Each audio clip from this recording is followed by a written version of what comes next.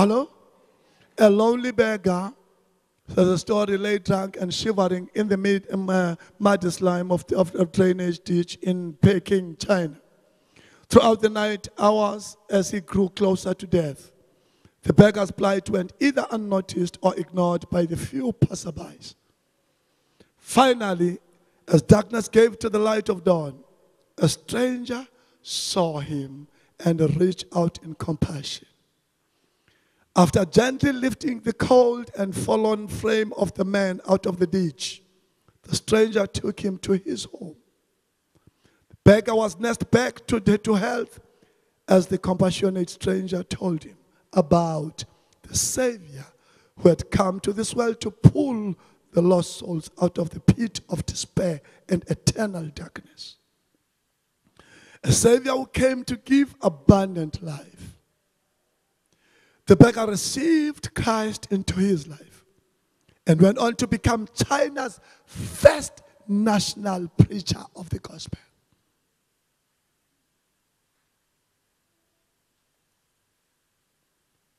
Years and years later,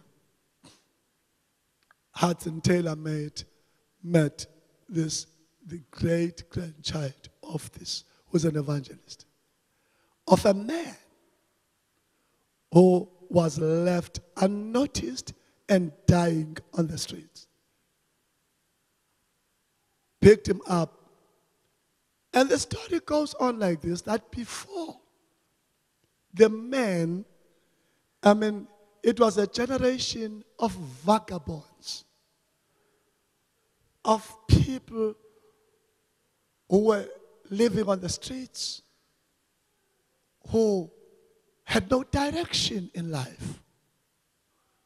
But just one man was picked up, given Christ, restored his soul, was able to give birth to a generation of doctors, evangelists, pastors, lawyers, Christian lawyers generations. And the man became the first evangelist in China.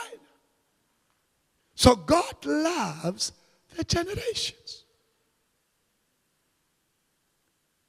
Now, I'm going to repeat just a few, go through. The Bible says that since Abraham shall surely become a great and mighty nation, and all nations of the earth shall be blessed in him.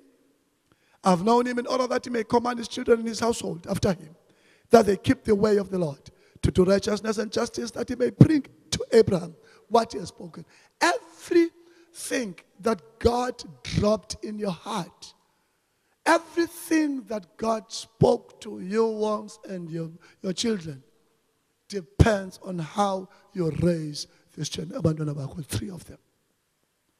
How you'll allow God to become this, the head and the source of information and instruction in that family.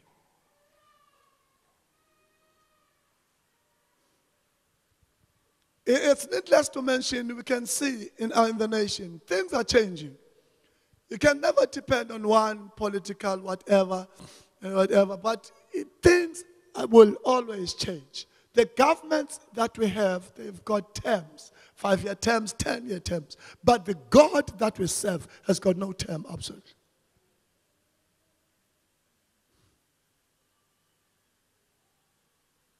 Absolutely, there's got no term. Now, the word generations, God was saying, otherwise, otherwise, sorry, let me begin by saying, God was saying to Abraham, Abraham, all the promises, remember he spoke, I mean, he gave, me, gave him promises in chapter 12. He says, leave your, uh, your kindred, leave your own country, leave your own people, and go to your land. I will do this to you. I will bless you. I will make you a great nation. He said, all those things that I said to you, they depend on how you instruct your people because my promises are not just only for you to benefit. I am the God of generations. I want the generations that are going to come after you to be instructed in justice, in righteousness, and keep my ways. So that I fulfill every promise that I uttered with my mouth. That's why when you hear read whatever is about the Jews. In most of the cities, let me not go to other countries, speak about our own country. They are, when I talk about a person who's rich, ndidla ngothi utyebe uyanuka seyazi maxanti utyebe uyanuka they are rich, the Jews. I mean, we must not be jealous about that. It's a promise. Amen. It is a promise that was promised by God. Now, the same, the God that we serve, speaks about generations.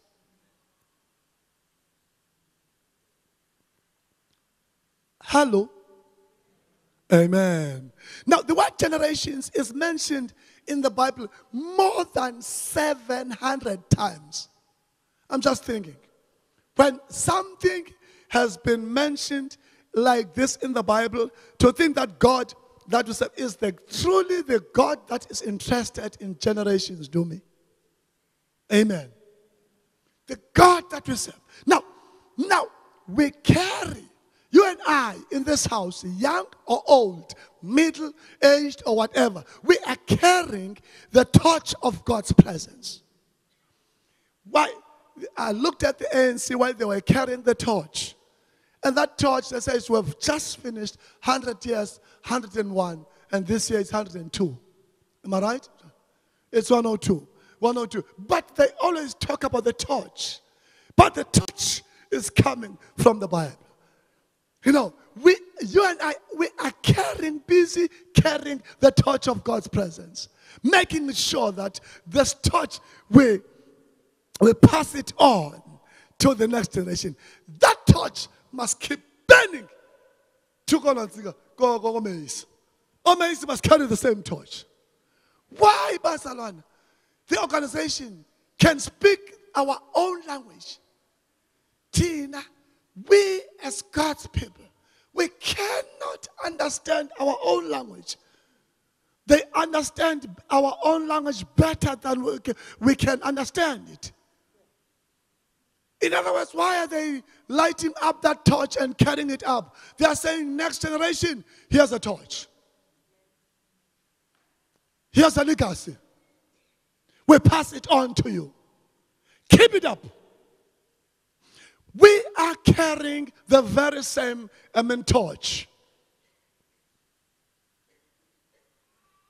that we must pass on to the next generations.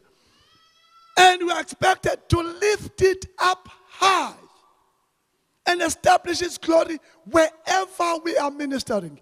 I'm not talking about full time workers, I'm talking about families, I'm talking about individuals. Wherever you are, make sure that God's presence is lifted up. God's touch is lifted up. You do not just hide.